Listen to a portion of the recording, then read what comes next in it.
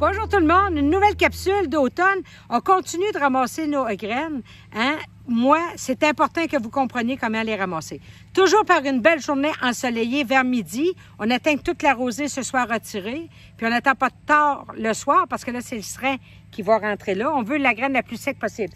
Ici, on a des marigolds. Tu sais, les marigolds, je vous dis toujours, on en met dans le jardin. Ça l'aide les légumes, ça attire les pollinisateurs, c'est insecticide aussi il faut ramasser les graines. Ça se part comme un pet euh, dans la vie. C'est facile au bout. Où est-ce qu'elle est la graine, voyez-vous? La fleur fleurit comme ça. Ensuite, elle va commencer à faner. Ensuite, elle va commencer à lâcher ses pétales comme ça. On va la prendre quand la coque est sèche, comme ici. Regarde, elle est toute brune. Pas verte comme ça. Pas comme ça. Réellement, quand elle est sec, comme ceci. Et regardez, je prends le bout, je tire. C'est ça, les graines. Tout ça, c'est des graines. OK? Et ça, c'est, en fin de compte, le bout de la graine. Vous n'avez pas besoin de l'enlever. Euh, laissez-y le bout. Euh, soyez indulgents, s'il vous plaît.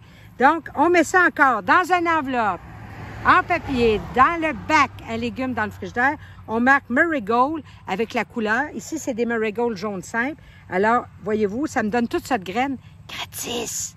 Lâchez-vous lousse! On cultive notre bonheur!